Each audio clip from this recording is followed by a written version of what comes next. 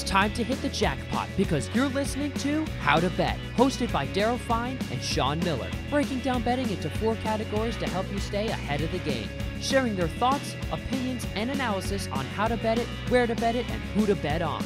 Now, here are your hosts, Daryl Fein and Sean Miller. Hello, everyone, and welcome to howtobet.com or howtobet.com podcast. I'm Daryl Fein along with Sean, the genius Miller, Nery Rodriguez, and it is uh, time to break down game one uh, in New Orleans at 6:09 Eastern time uh, on Saturday. Villanova and Kansas. Kansas a four and a half point favorite. 133 is the total. And uh, a reminder: go to howtobet.com. There you're going to click on the links. You'll see links. Click it on, and you're going to get uh, different odds from various sports books around the country. You see there uh, the betting lines between Villanova and Kansas, uh, the two games that are left. And if you go down a little, if you scroll down a little further, you're going to see uh, different opportunities from sports books around the country. Uh, you see them there in bold. You're going to see uh, the best bets, uh, you know, your, your best lines. Uh, Sean mentioned in our first segment that, uh, hey, there's, there's a big difference between some of these sports books. if you're betting a decent amount of change, you know, th- that 30 cents adds up big time. Also, you watching on YouTube, please hit that like button, the notification bell, and above all, subscribe, subscribe, subscribe to howtobet.com. So, Sean, it is uh, game one Saturday, 609, New Orleans, Villanova, a two seed, Kansas City, uh, Kansas City, Kansas, the Jayhawks, the only one seed remaining in the tournament. Again, a four and a half point favorite. 133 is the total. Villanova a little banged up. All right, so that that you know a lot of people that are you know Villanova has no chance. Uh, they lost more. Uh, you know, listen, they, they could be right, but I you know uh, Daniels, Cal Daniels comes in. He, he's started before. He's played a lot of minutes. The problem is, or the you know the the formula here is, can Villanova play those five guys for 35 minutes without getting in foul trouble? Arcidiacono comes in, you know, spells a little bit of time, maybe gets eight to 12 minutes. Uh, if everybody can stay out of trouble in Villanova, can that happen? It's interesting. Uh, first of all, are, are are you stunned? This game is the early game, by the way, and not uh, the North uh, Carolina. Uh, no, not at all. uh, no, um, not at all. I think I think uh, I think TV got it right. Help me really understand my family. Oh, what we got? So, I don't know. Interesting. Oh, that's good. Uh, when you when you look at uh, this matchup predictor here, um, it's interesting. They they still have Villanova as like a fifty one point three percent favorite to win this game over. I, you know, I, I find pretty interesting. Um, you know, both teams play really good defense. You know, obviously Villanova is you know held Houston to forty four. Yeah. So here's Villanova in the tournament. Delaware scored sixty. Ohio State sixty one. Michigan 55, Houston 44. Yeah. That's pretty good defense. Yeah, and uh, you know Kansas held to Miami to 50 after they were losing halftime. They absolutely annihilated them in the second half. You know the, the Villanova averages 71.9 points a game and gives up 55. Kansas averages 78.3 points a game, which is almost seven points more, and only gives up about four points more at 59.8, which I find pretty interesting there. Um, I, I, think if Villanova was healthy, uh, you know, I think maybe you give them a shot here.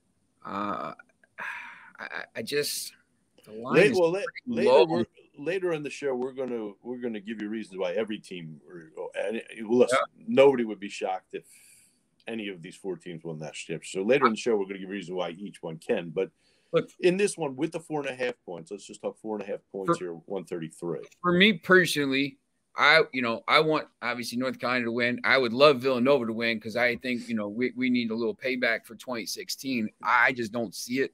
I love, you know, I think Kansas is uh this this kid Remy Martin. I mean, he was a, he was a stud at, at Arizona, Arizona State. State. Yeah. He, he, he, didn't have a great regular season. He averaged nine points a game. He's a little and, banged up. He's a little banged yeah, up. he's a little banged up, and he's just now he's healthy and he's a star. I mean, he's you know scoring twenty points a game in this thing, and he's been big for them. And you know, it's just you know you, when you have to stop him, and you know Kansas is pretty deep. I mean, they, just just with the scores. I mean, they, they get points from all over the place. I just I don't know if Villanova is going to be able to. I know Villanova slows everyone down, but I just don't know if they're going to be able to slow down everyone on this Kansas team. So I had I had Villanova against Delaware, Ohio State, and Michigan. I didn't have them against Houston. I, I laid off that game. I was nervous about mm-hmm. that game. Houston was playing so well. I don't like going against Villanova in those situations, so I laid off the game.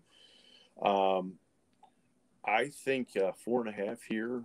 I think it's a close game, even even without more. I think uh, Jay Wright, arguably, even with Coach K here, Jay Wright, arguably the best coach in this Final Four. Um, I, I, I he's like third or fourth, man. I'm, I'm sure he'll have them ready. Uh, I'm sure they'll have them prepared. It's uh, again, it's going to come down. Really, the officiating is going to play a big part in this game because uh, Villanova needs to really keep their five on the floor as much as they can. I'm not knocking Archie Arcidiacono. He's just not ready. He's not his brother. He's not Ryan. It's it's um I, if he if if they only need him between eight and twelve minutes, I think they'll be okay. Uh, I'm going to take the four and a half in this game. Uh, you going the other way? Yeah, take Kansas, and I, you know, one of these things I love here is, you know, I, I like the team total points.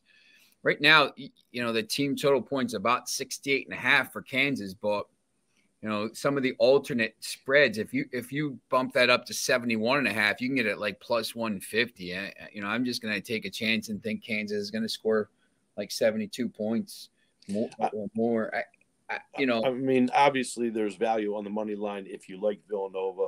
Um, if you like them a lot there's people going to bet them to win straight up i'm sure. Um, it's so tough it's a, it's a look. This is a tough game. It's a tough yeah, game. It's uh, it's also tough. You know, you know Villanova's going to have to play some. You're going to have to try to steal some minutes, and Kansas maybe be able to get some points in those games. I mean, that's why sometimes that under is tough because, you know, if even if Villanova's keeping the game close, like and they're scoring and going, it's probably going to be a little bit higher scoring game because some of those guys coming in off the bench are going to have to try to slow these guys down. And I don't know, you know, maybe that's where Kansas could maybe get 10 or 12 extra points. Yeah, the 133. Eh, also, you know, Villanova is a team that really has to knock down threes to win this game. And and they at times they do, at times they don't. They really haven't shot the ball well throughout the whole tournament. Um, so if they are on from beyond the arc, I could certainly see this game going over 133. I would go as far as to say if if I had a points bet in this game, I I would maybe use if I if you said you, need to use a points bet for one of these three games, the, the two semis in the final. I would use in this game and just say, listen, there's a chance Kansas wins this by 20. If nothing goes, if Villanova doesn't knock any shots down and they get a little bit of foul trouble and like you know the, the guys coming in don't play well i think there's more of a chance kansas wins by 20 than like villanova I, I, that's a valid point. I mean, I could see that. Uh, no, I just you know a lot even, of stuff. Even though I'm taking four and a half in this game, yeah. a lot. It's it's it's. I mean, it could happen because a lot of stuff went. You know, a lot of stuff went their way in that last game against Houston. I mean, Houston was you know awful. I mean, it could, that that that Elite Eight game was one of the worst games I've ever seen. I we were watching it at Daisy's, and I'm just like, man, this game is atrocious. Like it was just atrocious. Nobody could make a shot. Yeah, and it wasn't. It wasn't like. Uh, it wasn't like Villanova was playing defense. Houston was missing like layups. It was well. They, they, really all season that was kind of the way they went about it. They yep. were a great defensive team and a great rebounding team. Uh, right. They at times had trouble scoring. That's what showed up, you know, in in in that game. You know, Kansas, look, they're the, they're the only number one seed left.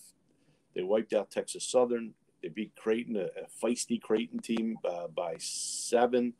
Uh, they took yeah. care of Providence. Uh, again, a Providence team that they had uh, really down and out. They came back uh, 66 61, and then uh, they, they did what they had to against an, a team that really, that a 10 seed that, again, if it wasn't for St. Time. Yeah, and then six. all of a sudden, like said, the game I, I, I, bet the game live. I actually yeah. Kansas minus two and a half before the first half ended. Uh, I had Kansas minus two and a half. And it was so over. I was happy was over two minutes into the second half. It yeah, was I, I, was I was I was thrilled with that live bet yep. uh, on that one. So again, four and a half Kansas. Uh, Genius is going to go with Kansas minus the four and a half. I'm going And to I take like the Villanova. team total Kansas. I'm going to go Villanova plus the four and a half Helix team total. I think the game goes over. By the way, I don't think Villanova wins the game if this game goes under. Um, I don't know if Neri can give us a, his opinion on this one or not. Uh, I'm gonna go Nova in this one. Uh, you know, I know they have their player out, but I think just Jay Wright, like you guys were talking about, uh, you know, I think he just has a lot of experience on this team, and uh, I I see somebody on the wall or a couple Wildcats stepping up and squeezing out a close one here. Yeah, I can see I can see that happening as well. Uh, so in, in that, so uh, that is the game one in New Orleans. The Big Easy will be hopping six oh nine Eastern time start Saturday uh, with the winner facing the winner of UNC Duke. We're going to get to that in a moment. Remember, go to howtobet.com. Various sports books around the country. You're going to get uh, you're going to get a chance to make uh, you know shop. You're going to get a chance to shop around. Uh, there are there are you know like I said, various different sports books around the country go to howtobet.com, go to the link, open it up. You're going to see a wide range of, of money line bets. You're going to see different states with different promotions. Uh, so uh, go there early, go there often. You watching us on YouTube, please hit that like button, and the, the notification bell, and subscribe, subscribe, subscribe. We appreciate it. Uh, remember to go to howtobet.com. When we come back, we are going to break down UNC Duke, the moment that the genius has been waiting for. We're going to do it after this. Remember to go to howtobet, howtobet.com. Let's go.